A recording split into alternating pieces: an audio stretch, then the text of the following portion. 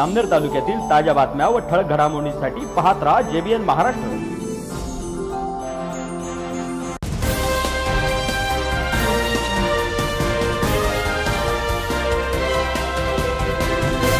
नमस्कार मी मिनल चौधरी. पाहूया काही ठळक वृत्त. सरकारी वकील विद्याभरत पाटील यांच्या पूर्ण खटल्याचा निकाल नुकताच लागला असून त्यात दोन आरोपींना न्यायालयाने शिक्षा ठोठावली आहे. यात मृत विद्या पाटील यांचे पती डॉक्टर भरत पाटील यास जन्मठेपेची तर सासरे लालसिंग पाटील यास चार वर्ष सक्त मजुरीची शिक्षा सुनावण्यात आली आहे.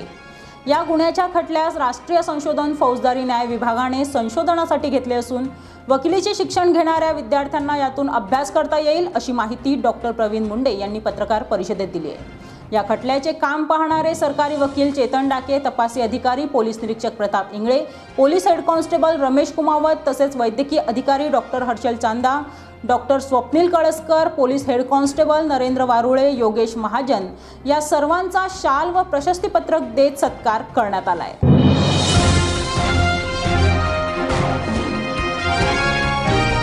त्यांचं यापूर्वीचे जे जामीन अर्ज वगैरे जे होते ते सर्व मी हाताळलेले होते मी बघितलेले होते.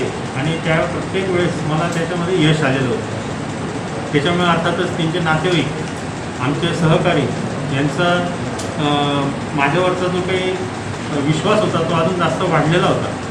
खटला सुरू करायचा होता. आम्ही आठ मार्चला खटला हा लावलेला होता मागच्या वर्षी.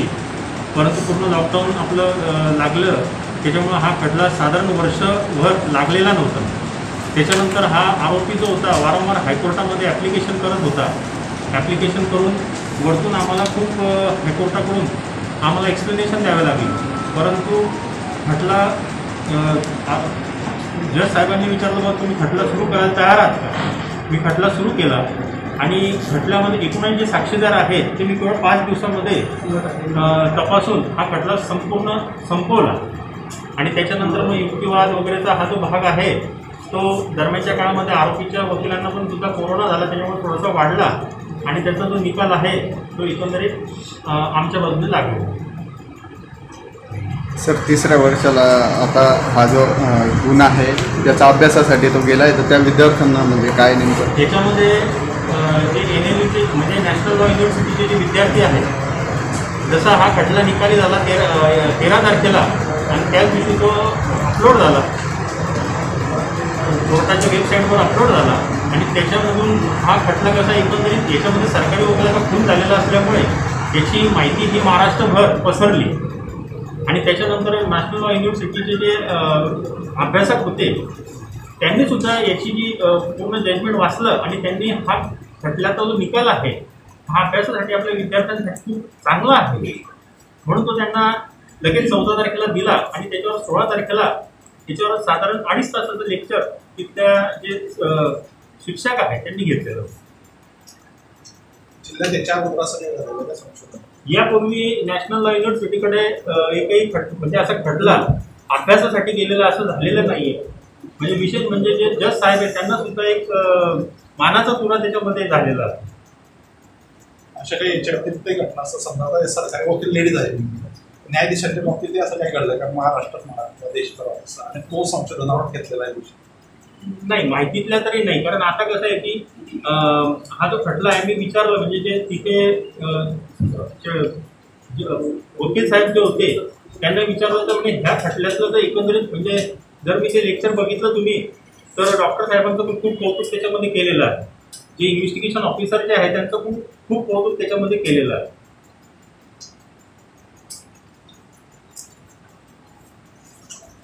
मराठी टेस्ट साहेबांनी सांगितलं? की सर्कमस्टॅन्शियल इव्हिडन्सेस नव्हते. होते. होते. Direct evidences. नव्हते. म्हणजे. आय विटनेस की मी पाहिलं मारताना असे विटनेसेस नाहीये. तसं असताना एखादी केस सिद्ध करणं हे जास्त जिकिरीचं होऊन जातं अशा परिस्थितीत मग सगळ्या परिस्थिती जन्म ज्याला म्हणतो की परिस्थिती सांगते की यानेच खून केलेला आहे. ते सिद्ध करताना जास्त मेहनत करावी लागते. तर ते सगळं व्यवस्थित ते जुळवून त्याची साखळी जोडावी लागते आणि ते जजला जे न्यायाधीश असतात त्यांना पटवून दाखवावं लागतं. हे सगळं काम जे आहे त्या सायंटिफिक एव्हिडन्सेस ज्याला म्हणतो आपण. फॉरेन्सिक मेडिसिनकडून मिळालेले. त्या ठिकाणी इनडायरेक्ट एव्हिडन्सेस जे आहेत म्हणजे ज्या घटनास्थळावर ही घटना घडलेली आहे त्याच्या आजूबाजूला मिळणारे पुरावे आरोपीचं वर्तन याच्यानंतरचं गुन्हा केल्यानंतरचं या सगळ्या बाबी ज्या आहेत त्या जुळून शेवटी याला हा गुन्हा जो आहे दोष सिद्ध करण्यासाठी खूप मेहनत करायला लागते. अन्यथा बऱ्याचदा असं असतं कोर्टामध्ये केस चालताना मी पाहिलं विटनेस रिलायबल आहे मारलं बस त्याच्या आधारे सुद्धा आपल्याला कन्व्हिक्शन मिळू शकतं. पण अशा केसमध्ये मात्र ते खूप कठीण असतं. पण ते सगळं साध्य जे आहे ते या सगळ्या टीममुळे टीमच्या एकत्रित चांगल्या प्रोफेशनल कामगिरीमुळे झालेलं आहे असं माझं सर याच्यात मोबाईल संवाद जे झालेले आहेत त्याच्यामध्ये एकही संवाद त्या लेडीचा असा आक्षेपार्ह नाही का? किंवा ज्या आरोपींचा संशय बळावतोय त्या? नाही त्याच्यामध्ये काय आहे की ज्यावेळेस सकाळी साधारण आठ वाजून पंचावन्न मिनिटापासून त्या व्हिक्टीम ज्या आहेत त्यांना कॉल यायला लागलेले होते. त्याच्यामध्ये त्यांची जी बहीण आहे औरंगाबादची तिचा सुद्धा कॉल आलेला होता. ती साधारण दहा ते पंधरा मिनटं तिच्याशी बोललेली होती. आणि त्या कॉलमध्ये तिने सांगितलेलं होतं की आता आम्ही घरात दोनच लोक आहोत माझे पती मी. परंतु ते मला खूप त्रास देत आहे आणि मारहाण करतात. हे झालं. त्याच्यानंतर त्यापूर्वी त्यांच्या घरातून ते घरामध्ये दोनच लोक होते हे सांगण्यासाठी त्यांचा जो मुलगा होता स्वतःचा म्हणजे त्या मैताचा आणि आरोपीचा यांनी सुद्धा सांगितलं की तो दहा वाजेला मी जेव्हा माझ्या आत्याकडे गेलो मी आणि माझी आजी त्यावेळेस घरामध्ये फक्त माझे पप्पा आणि मम्मीच होते. म्हणजेच काय की आम्हाला ते त्या ठिकाणी सिद्ध करायला झालं की घरामध्ये दोनच होते. आणि त्याच दरम्यान तिचा मृत्यू आलेला आहे. आणि मृत्यू जो आलेला आहे तो त्या दरम्यानच आलेला आहे हे डॉक्टरांनी त्यांचं जे ओपिनियन दिलेलं आहे पी एम नोट्समध्ये त्याच्यावरून आम्हाला ते सिद्ध झालं. सर प्रश्न असा आहे की संवादामध्ये काही आक्षेपार्ह आहे का? त्यांना जो संशय होता.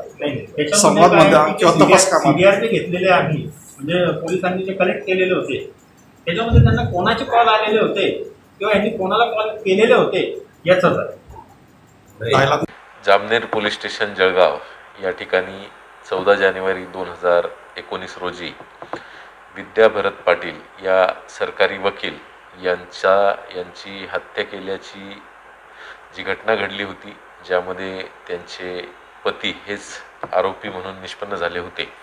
आणि या गुन्ह्याचा अतिशय शास्त्रोक्त पद्धतीने पोलीस स्टेशन प्रभारी पी आय श्री प्रताप इंगळे त्यांचे लेखनिक श्री हवालदार श्री रमेश कुमावत यांनी अतिशय उत्कृष्ट पद्धतीने तपास करून त्याची चार्जशीट केली होती.